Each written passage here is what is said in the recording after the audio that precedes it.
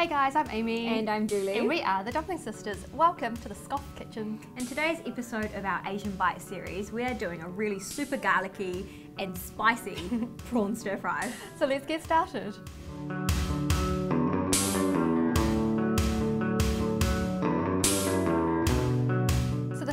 Going to do is get the prawns ready. Now, these are just prawns that we've got from the supermarket. They've been deveined and they obviously have no shells on them. But before they hit the sizzling heat of the wok, we're going to increase the chances of it latching onto as much of the mm, chili and chilies as possible. Goodies. So all you need to do is take the back of the prawn and cut down its length so you almost butterfly the prawn. So just take a little knife, rest your fingers on top of the prawn like this mm -hmm. and just slice through. And you can just imagine the ginger and the garlic mm. tucking into that bit there. It's going to be yeah, good. and when it's cooked, it'll open up even more, so it becomes like almost a little spoon. And what we're going to do, because this is such a fast stir fry, is get ourselves well prepared by popping a wee bit of corn flour on top. We're not going to mix it in yet, but we'll just have it there so that right before we stir fry, we give it a quick mix. And what this corn flour is going to do is lock in all of those juicy flavours. So get your wok on a really low heat and then put in a nice generous glug of oil.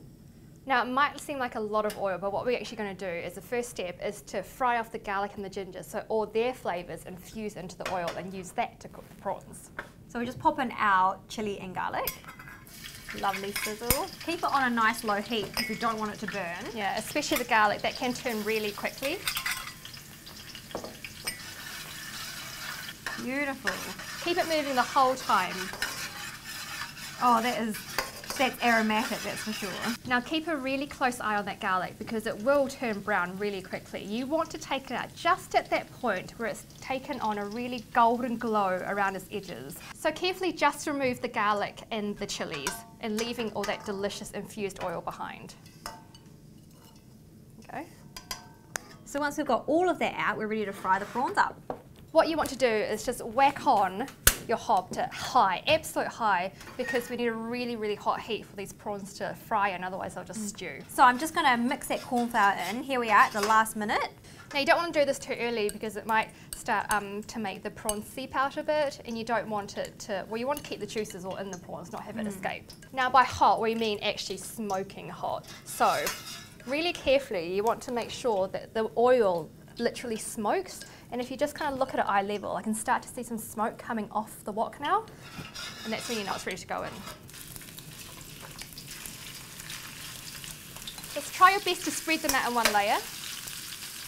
You can see the colour changing already so fast. So this is the perfect dish to do if you don't have a lot of time on your hands because it literally takes five minutes once you start stir frying.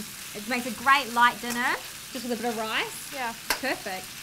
So when you see the colour changing um, to this really lovely prawn salmony colour and the flesh is starting to get opaque, just start giving it a toss.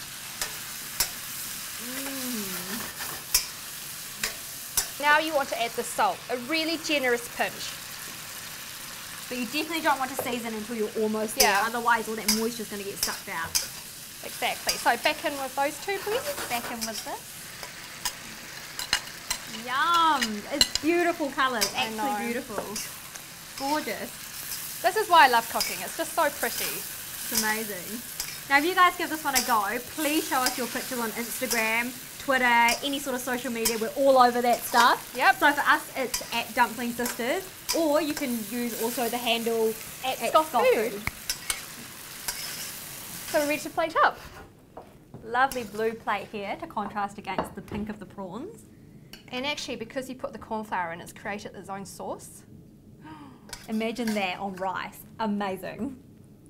So if you guys give this one a go, and please do, we would love to hear how it goes for you. Just leave us some comments down in the box below, and also make sure you subscribe if you want more cool videos like this one. So there we have it, the Dumpling Sisters chili and garlic prawn. Please give it a go, guys, and we'll see you next time. Bye. Bye.